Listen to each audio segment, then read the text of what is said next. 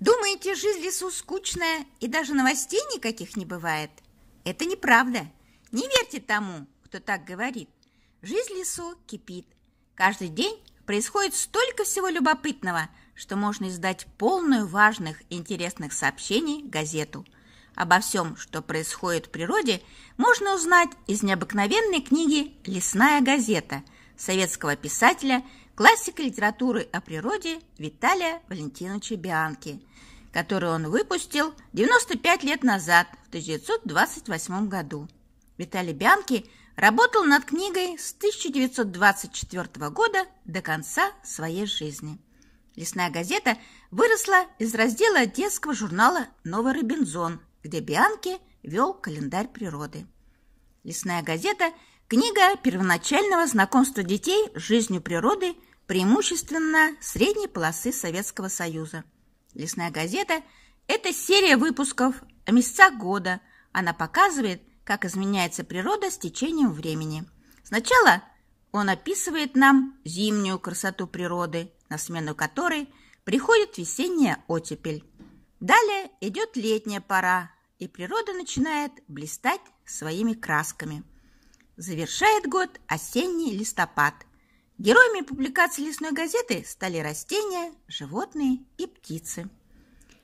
Из огромного пестрого потока быстро сменяющихся сезонных явлений природы Виталий Бянки отбирает в каждый номер только самое главное и яркое.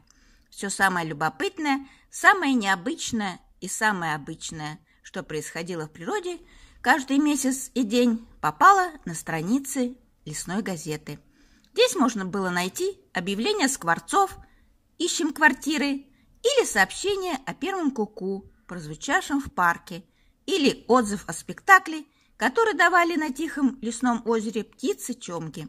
Была даже своя уголовная хроника «Беда в лесу – не редкость». В игровой форме со множеством затей и прекрасных иллюстраций Бянки разворачивает перед читателями волшебный круговорот родной природы – где колесо жизни каждый год проходит весь цикл, один и тот же, но вечно новый. Ориентироваться в книге довольно удобно, потому что автор присвоил каждой главе месяцу свое название, которое соответствует определенным изменениям в природе. Каждая новая глава сопровождается приметами и пословицами.